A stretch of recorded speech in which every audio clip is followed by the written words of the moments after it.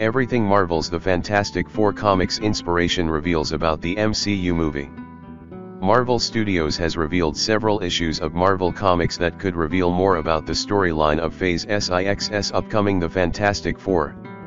Marvel Studios chief Kevin Feige teased the development of the Fantastic Four back in 2019, but only recently have major updates been reported surrounding the MCU reboot of Marvel's first family. Pedro Pascal, Vanessa Kirby, Joseph Quinn, and Ebon Moss-Bachrach were cast as the MCU's Fantastic Four in February, and Julia Garner joined the cast as Shalla-Bal Silver Surfer in April, with her inclusion hinting at more character debuts and plot threads for the highly anticipated upcoming project. Shortly after Julia Garner's casting as the Silver Surfer was reported, Marvel recommended five issues of Marvel Comics to read ahead of the release of the Fantastic Four in July 2025.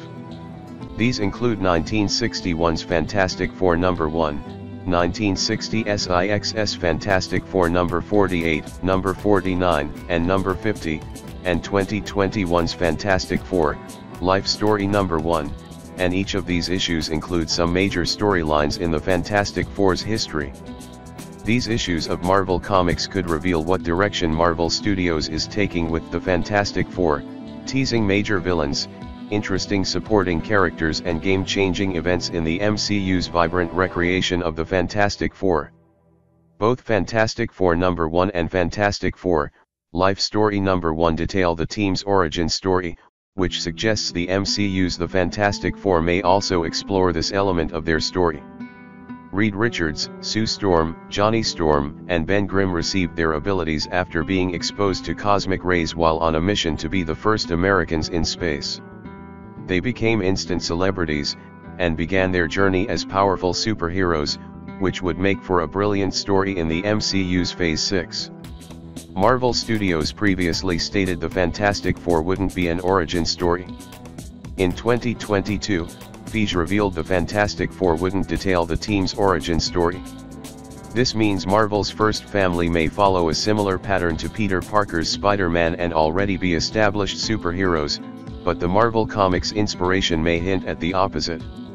Marvel may have recommended these issues so that audiences will know the Fantastic Four's origin, but it would still be great to see unfold in live action. After their origin story was explored in Fantastic Four number 1, the titular team faced their first villain, Mole Man. Harvey Rupert Elder's Mole Man employed his moloids, mole-human hybrids, to make attempts at taking over the surface world.